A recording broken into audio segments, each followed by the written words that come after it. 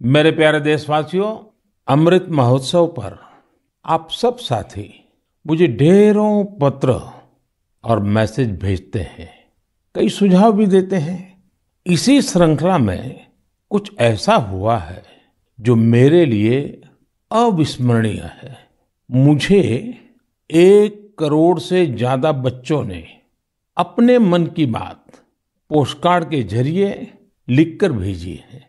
ये एक करोड़ पोस्टकार्ड देश के अलग अलग हिस्सों से आए हैं, विदेश से भी आए हैं।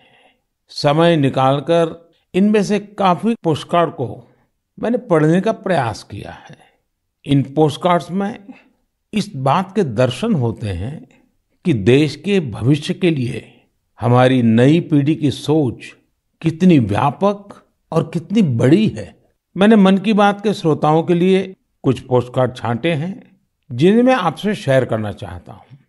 जैसे यह एक असम के गुवाहाटी से रिद्धिमा स्वर्गीयारी का पोस्ट कार्ड है। रिद्धिमा क्लास सेवन्थ की स्टूडेंट है और उन्होंने लिखा है कि वो आज़ादी के सौवें साल में एक ऐसा भारत देखना चाहती हैं जो दुनिया का सबसे स्वच्छ देश हो, आतंकवाद से पूरी तरह से मुक्त हो, शत प्रतिशत साक्षर देशों में शामिल हो ज़ीरो एक्सीडेंट कंट्री हो और सस्टेनेबल तकनीक से फ़ूड सिक्योरिटी में सक्षम हो।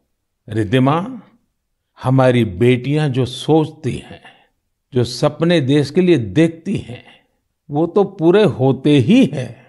जब सबके प्रयास जुड़ेंगे, आपकी युवा पीढ़ी इसे लक्ष्य बनाकर काम करेगी तो आप भारत को जैसा बनाना चाहती हैं वैसे ज़रूर होगा। एक पोस्टकार्ड मुझे उत्तर प्रदेश के प्रयागराज की नव्या वर्मा का भी मिला है। नव्या ने लिखा है कि उनका सपना 2047 में ऐसे भारत का है जहाँ सभी को सम्मानपूर्ण जीवन मिले, जहाँ किसान समृद्ध हो और भ्रष्टाचार न हो। नव्या, देश के लिए आपका सपना बहुत सराहनीय है। इस दिशा में देश तेज़ी से आगे भी बढ़ रहा है। आपने भ्रष्टाचार मुक्त भारत की बात की। भ्रष्टाचार तो दीमक की तरह देश को खोखला करता है। उससे मुक्ति के लिए 2047 का इंतज़ार क्यों? ये काम हम सभी देशवासियों को, आज की युवा पीढ़ी को मिलकर करना है, जल्द से जल्द करना है। और इसके लिए बहुत ज़रूरी है कि हम अपने कर्तव्यों को प्राथमिकता दें। जहाँ कर्तव्य निभाने का एहसास होता है, कर्तव्य सर्वोपरि होता है, वहाँ भ्रष्टाचार फटक भी नहीं सकता। साथियों, एक और पोस्टकार्ड मेरे सामने है, चेन्नई से मोहम्मद इब्राहिम का। इब्राहिम 2047 में भारत को रक्षा के क्षेत्र में एक बड़ी ताकत के रूप में देखना चाहते हैं। वो चाहते हैं कि चंद्रमा पर भारत का अपना रिसर्च बेस हो और मंगल पर भारत मानव आबादी को बसाने का काम शुरू करे। साथ ही इब्राहिम पृथ्वी को भी प्रदूषण से मुक्त करने में भारत की बड़ी भूमिका देखते हैं। इब्राहिम, जिस देश के पास आप जैसे नौजवान हो, उसके लिए कुछ भी असंभव नहीं है। साथियों, मेरे सामने एक और पत्र है। मध्य प्रदेश के रायसेन में सरस्वती विद्या मंदिर में क्लास दस की छात्रा भावना का। सबसे पहले तो मैं भावना को कहूँगा कि आपने जिस तरह अपने पोस्टकार्ड को तिरंगे से सजाया है, वो मुझे बहुत अच्छा लगा।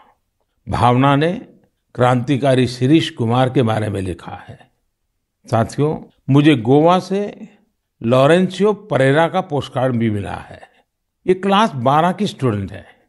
इनके पत्र का भी विषय है, आज़ादी के अनसंग हीरोज मैं इसका हिंदी भावार्थ आपको बता रहा हूँ।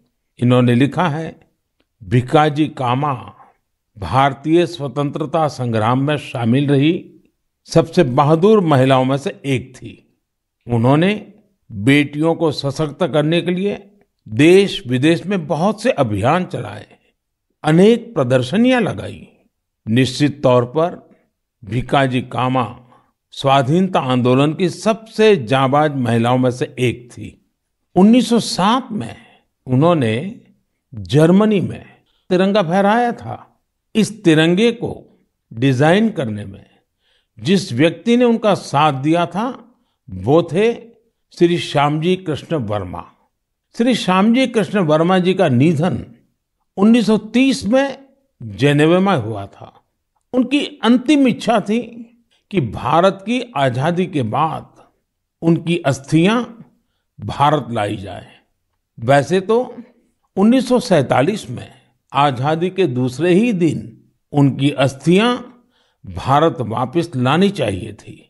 लेकिन ये काम नहीं हुआ। शायद परमात्मा की इच्छा होगी ये काम मैं करूँ।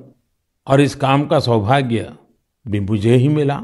जब मैं गुजरात का मुख्यमंत्री था तो वर्ष 2003 में उनकी अस्थियाँ भारत लाई गई थी।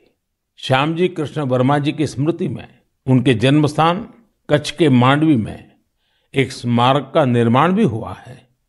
साथियों, भारत की आज़ादी के अमृत महोत्सव का उत्साह केवल हमारे देश में ही नहीं है, मुझे भारत के मित्र देश क्रोएशिया से भी 75 पोस्टकार्ड मिले हैं। क्रोएशिया के जागरेब में school of applied arts and design के स्टूडेंट्स उन्होंने ये 75 कार्ड्स भारत के लोगों के लिए भेजे हैं और अमृत महोत्सव की बधाई दी है। मैं आप सभी देशवासियों की तरफ़ से क्रोएशिया और वहाँ के लोगों को धन्यवाद देता हूँ।